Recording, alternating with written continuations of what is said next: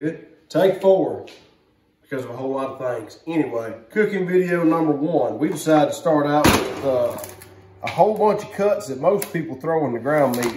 We got two necks, big doe, little doe, two shanks. One of them's got the bone in and two faux shanks, which is the front piece of meat off the hind quarter that is laid over the top of the shank. So straight up, salt, pepper, garlic powder. We're gonna put a hard sear on it before we throw the veggies in. Let's go.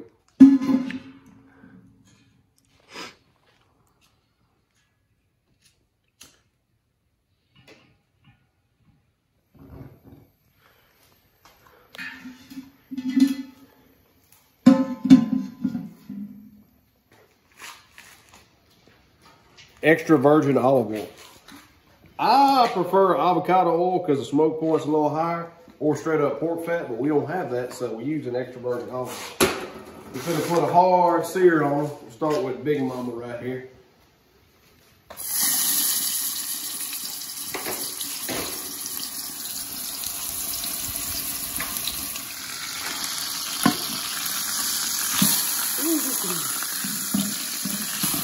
That's what we want right there. So that brown on the meat.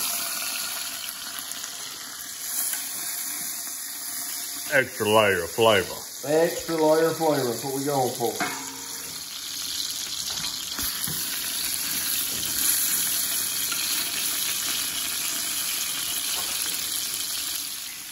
Ah, this is what you're looking for right here. We ain't trying to cook it all the way through. We try to put a crust on it. If you get that crust, you set it to the side.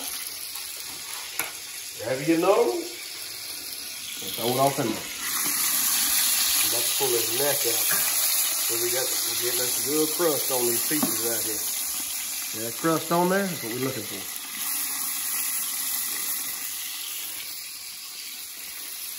What you doing, Road Dog? Say I want a little piece of that. You'll get one later.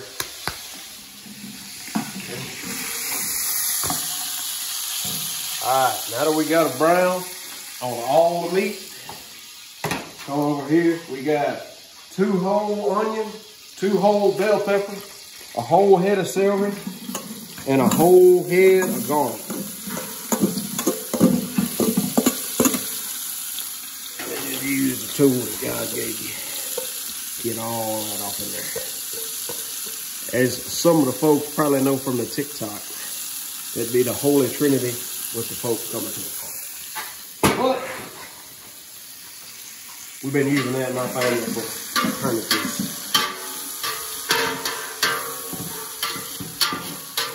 And what you want to do right here, you don't want to cook them all the way through. You just want to sweat them down a little bit just to get the moisture come out so you deglaze in the bottom of the pan. Once you get all the crust off the bottom of the pan, get them sweated down a little bit, then we go back.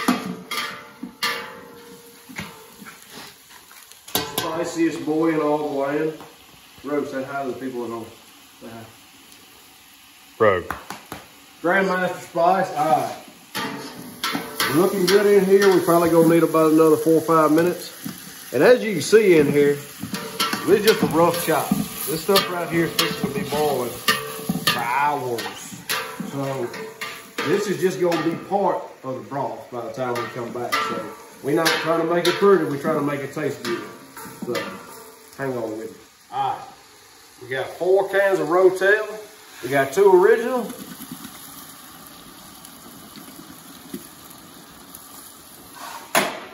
We got two hot. And I know what some of y'all thinking. Where is all this coming from?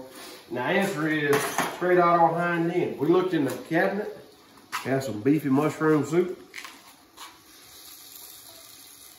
This right here is camp meal. You use what you got, and as long as you got onion, bell pepper, garlic, and celery, it's gonna taste good, I promise you.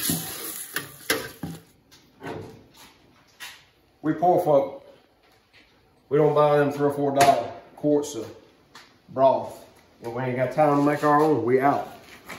You six or eight cubes chicken bouillon. So we using a bunch of red meat So if you use a bunch of red meat and a bunch of beef broth, it gets real, real rich. I like using chicken broth or chicken bouillon a lot of the time to lighten up a stew whenever you're using a whole bunch of red meat. So just keep that in mind.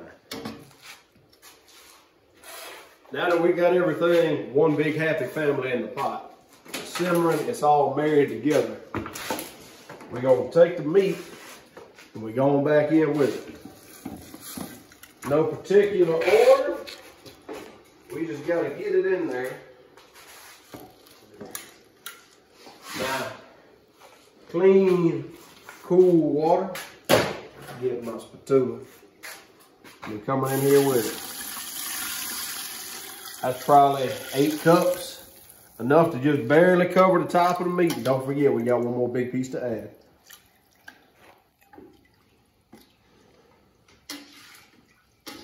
All right, right there, it looks a little uh, sus. It's drippings off the meat and the burnt seasoning from the pan. So we're gonna just get a little, just enough to get it moving. And all that is flavor. All that goes right back in. We done added big donut in that. We're gonna bring it back up to a rolling ball and we're fixing to go in there and raid that cabinet see what else we can find.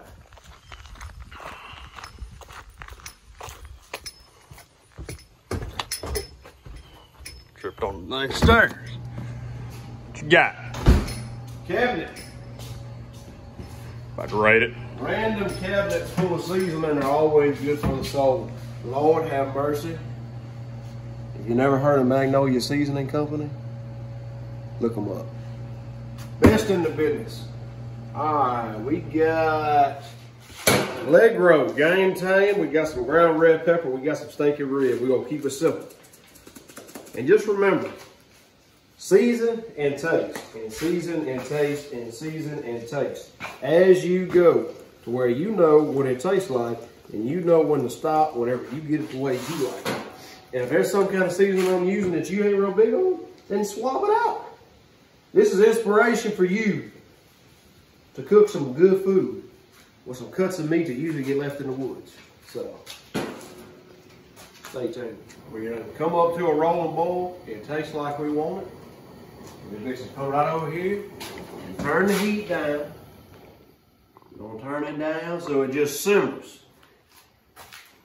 We're fixing to go get about an hour nap. Get off, get off, man. I can't see that yet. We're fixing to go get about an hour nap. We're gonna come back and check it before we head to the woods. Y'all stay tuned. All right, we just woke up from the most glorious nap ever. We added more water. So it's been added for about an hour and a half, and it was it was boiling pretty good. But we're fixing to leave for five hours, four hours, a while. We- We're going hunting. We're trying to get some more of those deer necks. We won't be back till after dark. It's going to be boiling for the whole time we're going, so we want to add more water because we don't want it to go dry. Go dry, pot burns, pot melts, bad food. No food, actually. So we're going to add a little more seasoning because we added water. We're going to lower it down to a simple. Stay tuned. Are we back? Yes, we're All back. right, we forgot to update as soon as we got back out of the woods. But we've been simmering quite a while. Let me show you what these old tough necks turn into. Are you ready for this? Come, come down here. Come here. Oh my gosh, it's so tough. That meat ain't no good. It's just good for the grinder. Yeah, look at that. Uh, get, get, get. Anyway, I killed we him. I can, to reduce. I, I can finger this. We got too much liquid in the pot. We bring to a rolling boil. Demonstration of a rolling boil.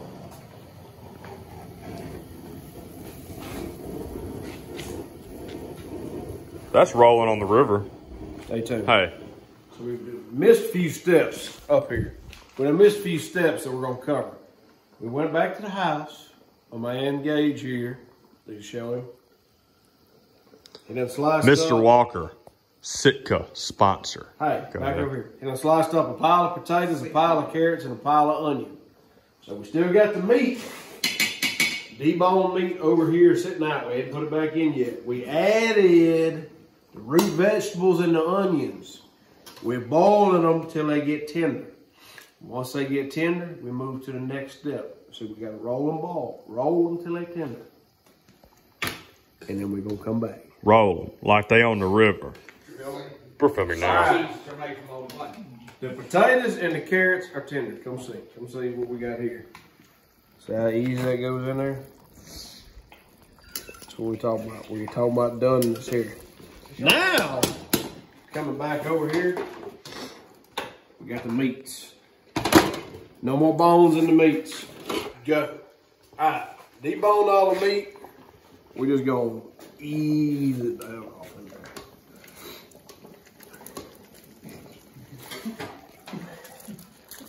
All right, we're gonna let that warm back up, and we got a few surprises. A few surprises. Stay tuned. One whole big can, family size can of golden sweet whole kernel corn. In the pot. Cause why not? It was in the cabinet. We saw this coming. A whole deboned rotisserie chicken. Why not? Why not? Yes, it's really happening. But there's some more surprises. Some more surprises coming. Mm-hmm. Get ready. Bet you never guessed what was coming next. That's right. That's right. Most of a block of Velveeta cheese. Most of it. The other, the rest of it went to where that man sabotaged. Most of the whole one. I got a whole block of cream cheese. Merry Christmas. It really needs to. Happy New Filthy Year. Are we animals. putting this in there? Stay tuned. Oh, We're not doing it. Go ahead, open that. Oh, we're doing this. yeah. We're doing this. Cause why not? I mean, if we're putting that in, might as well put the other, other, other. Just other- cause why not? Whole bag of Kraft Colby Jack cheese. The whole bag. The whole ass bag. What do you think, Rogue? I don't know about that, man. All right, we're back. Stay tuned. All right, stew. We brought it up inside.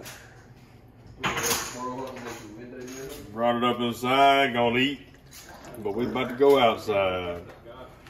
We about to go play poker in the Skinner shed, but for now, I'm about to get a couple, couple little scoopings of this here meats.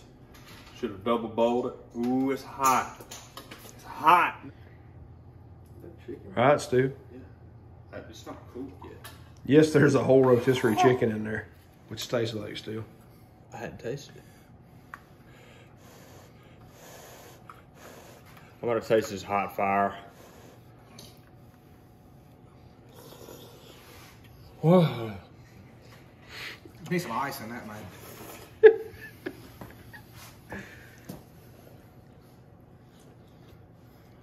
Scrumptious. Huh? That's scrumptious. So good. It's good, but God Oh. bless. Don't do it. I feel like that Jesus himself is standing on my right side here, placing his hand on my shoulder as I go through this experience. He's with us. He's with y'all if you follow our recipe, which isn't much. It's just everything. Try it. I'm telling you, he'll come down and he'll save you. Say it until next time. Until next time, get saved.